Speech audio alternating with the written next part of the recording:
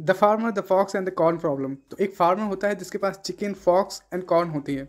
And farmer को इन तीनों चीज़ों को लेकर एक रिवर को क्रॉस करना है। बट द सिचुएशन इज़ कि जो फॉक्स है and the chicken both are hungry दोनों ही भूखे हैं। एंड वो रिवर को क्रॉस करते हुए एक टाइम पर एक ही आइटम को वोट में ले जा सकता है। तो फार्मर चिकन एंड फॉक्स दोनों को एक साथ नहीं छोड़ सकता। एंड साथ ही कॉर्न एंड चिकन को भी एक साथ नहीं छोड़ सकता।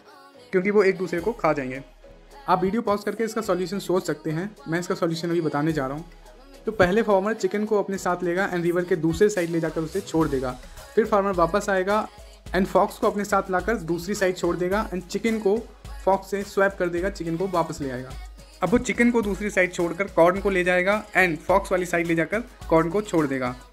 फॉक्स कॉर्न को नहीं खाएगी, इसलिए दोनों सेफ़ हैं। अब फार्मर दूसरी साइड आएगा चिकन को लेगा एंड तीनों लोग रिवर के दूसरी साइड आ गए हैं। क्या आपने भी यही सोचा था? कमेंट ज़रूर कीजिए।